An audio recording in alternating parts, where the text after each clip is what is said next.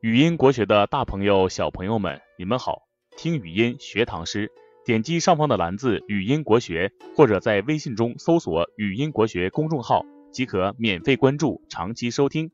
每天，我们都将邀请您一起来经历一次奇妙的诗词之旅，利用一年的时间来学习唐诗三百首。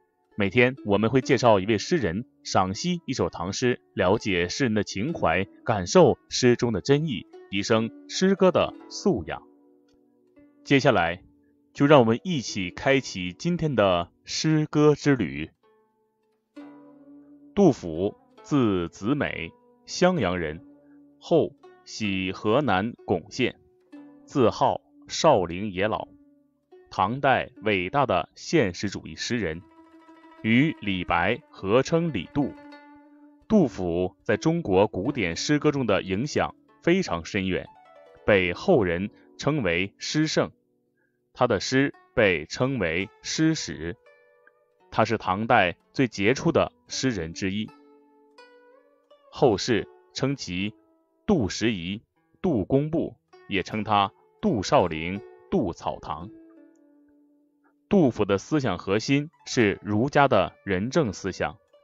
他有治君尧舜上，再使风俗淳的宏伟抱负。杜甫生活在唐朝由盛转衰的历史时期，其诗风沉郁顿挫，以古体诗、律诗见长。内容上多写社会动荡、政治黑暗、人民疾苦，表达了崇高的仁爱精神和强烈的忧患意识，因而。被誉为诗史，他的诗共有一千五百首被保留下来，是唐诗里最多、最广泛的，大多集于《杜工部集》。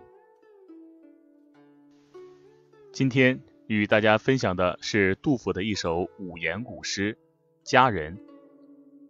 这首诗创作于唐肃宗乾元二年秋季，安史之乱发生后的第五年。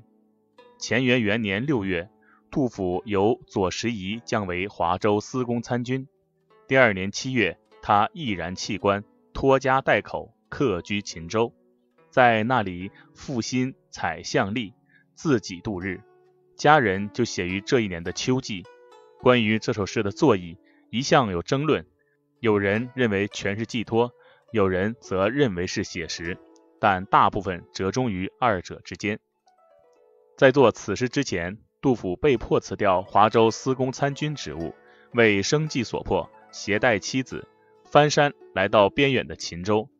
杜甫对大唐朝廷竭忠尽力，担心耿耿，却最后落得弃官漂流的窘境。即便是在关山难越、饥寒交迫的情况下，仍始终不忘国家民族的命运。这样的不平际遇，这样的高风亮节。和诗中女主人公是很相像的，所以作者借他人之酒以浇胸中快垒，在他的身上寄托了自己的身世之感。清人黄生说：“偶有此人，有此事，侍妾放尘之感，故作此诗。”接下来，我们一起来欣赏一下这首古诗《佳人》。杜甫，绝代有佳人，幽居在空谷。自云良家女，零落依草木。关中西丧乱，兄弟遭杀戮。高官何足论，不得收骨肉。世情恶衰歇，万事随转逐。夫婿轻薄儿，新人美如玉。合婚尚知时，鸳鸯不独宿。但见新人笑，那闻旧人哭。在山。泉水清，出山泉水浊，势必卖珠回，牵罗补茅屋。摘花不插发，采柏动盈居。天寒翠袖薄，日暮已修竹。这首诗的意思是，有一个美艳绝代的佳人隐居在僻静的深山野谷。他说：“我是良家的女子，零落漂泊，才有草木依附。想当年长安丧乱的时候，兄弟遭到了残酷的杀戮，高官显赫又有什么用呢？不得收养我这至亲骨肉。事情本来就是厌恶衰落。”万事像随风抖动的蜡烛，没想到夫婿是个轻薄儿，又娶了美颜如玉的心腹。合欢花朝梳昏合有时节，鸳鸯鸟雌雄交颈不独宿。朝朝暮暮，只有与新人调笑，哪管我这个旧人悲哭。在山的泉水清澈又透明，出山的泉水就要浑浊浊。变卖首饰的侍女刚回来，牵拉罗藤修补着破茅屋。摘来野花不爱插头打扮，采来的白子满满一大居。天气寒冷，美人衣衫单薄，夕阳下她倚着长长的青竹。这首诗呢，写的是一个在战乱时被遗弃的女子的不幸遭遇。她出身良家，然而生不逢时，在安史战乱中，原来位居高位的兄弟惨遭杀戮，丈夫见她娘家落魄，就遗弃了她。于是她在社会上流落无依。